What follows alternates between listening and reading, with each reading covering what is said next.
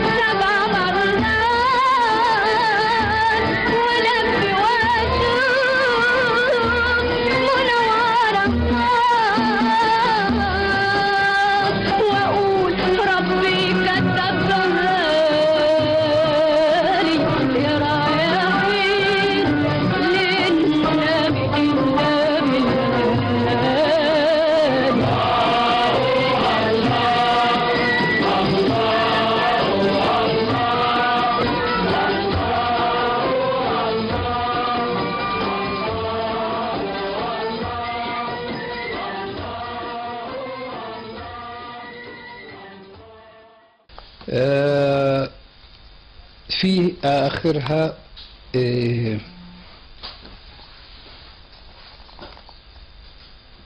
حفل حسنين. باشا يكرم نجيب الريحاني ده عنوان غريب لكنه أمر واقع وحقيقة ثابتة أن الأستاذ نجيب الريحاني أقام عدة حفلات لجماعة الرواد رفض أن يتقاضى أجرا واعتبر نفسه وفرقته مساهمين في أغراض الجماعة والخدمات الإنسانية. فما كان من جماعة الرواد وحسنين باشا أحد أعضائها ومن مبادئهم عدم ذكر أسماء أو إعلان عن أشخاص لأنهم كلهم أخوان والرئيس لهم وحسنين باشا لا يعتبر إلا أحدهم وأكبرهم سنا. ما كان من هؤلاء إلا أن قرروا إقامة حفل تكريم لنجيب الريحاني اعترافا بشعوره الكريم. وهذه ولا ريب أول حفلة من نوعها بل لعلها أول مرة نجد جماعة تضم خيرة رجال البلاد ومن بينهم رئيس ديوان جلالة الملك يكرمون فنانا خيرا مثل نجيب الريحاني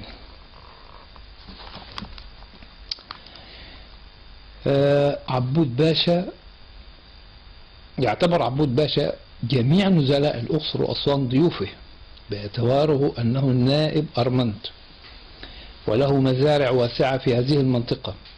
ولذلك فإنه ظل طوال الأسبوع الأعياد يقيم دعوات وولائم متتالية.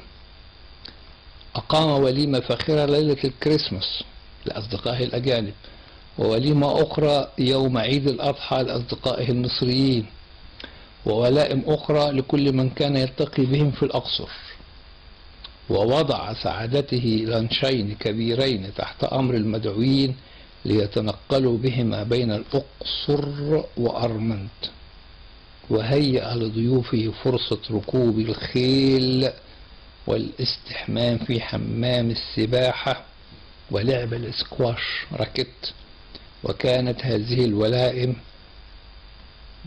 دعاية موفقة للريف المصري حتى بين المصريين أنفسهم. العدد ده هايص وأخبار للصعيد. الزيارة السنوية لدولة صدقي باشا. كان صاحب الدولة إسماعيل صدقي باشا رئيسا لشركة كوم أمبو. وكان من عادته أن يزور مقر هذه الشركة في كوم أمبو كلما اقتضت الأعمال أن يزورها غير أنه قد سن في ذلك الحين سنة لم يغيرها. إيه هي؟ حتى بعد تركه لرئاسة مجلس إدارة هذه الشركة وهو أن يزورها في عطلة عيد الأضحى من كل عام. وقد سافر هذا العام إلى كوم أمبو عملا بهذه السنة. جو الأقصر حسب القارئ أن يعلم أن بعض نزلاء ال Winter Palace يرتدون جاكيتات بيضاء رغم أننا في أول يناير. ليدرك ليدرك دفء الأقصر وجوها البديع شتاء. أما في المساء أو بالأحرى بعد الغروب فإن الجو يتبدل وينزل البرد لكنه برد جاف خالي من الرطوبة. موسم الشتاء فيها ينتهي بانتهاء مارس لأن أبريل بها لا يطاق. البلد فقيرة وبيصف الأقصر. ليست بها صناعات محلية مثل أسيوط أو أسوان مثلا. ولم يذكر ما هي الصناعات. هو العدد قصير في حد ذاته في الأخبار لأنه كان مهتم بعيد الأضحى. وصورة في نفس الصفحة اللي هي هاي لايف فقراء حي السيدة زينب يتذوقون ثمرة جهود سيدات ال high life آه، جمعوا لهم تبرعات. توزعت على الفقراء بمناسبة عيد الأضحى. وبرضو صوروا عشان يبينوا نفسهم في حالة هذه التبرعات. وكم من التبرعات ترتكب باسم الخير ولكن ماذا تعني فيه؟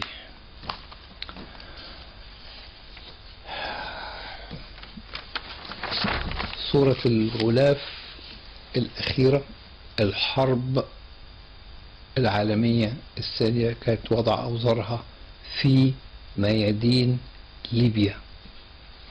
وثائق العدو تؤيد البلاغات البريطانية واضح أنه مدمر وقوات هندية تواصل الزحف مخترقة درنة بعد سقوط الميناء في أيدي القوات البريطانية في 19 ديسمبر.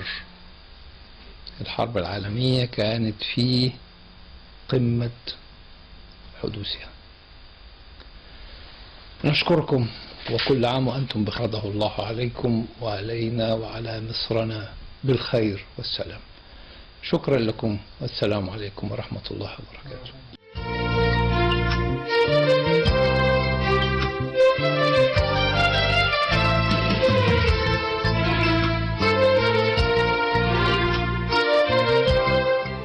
في ختام هذه الحلقة نشكر لكم حسن المتابعة.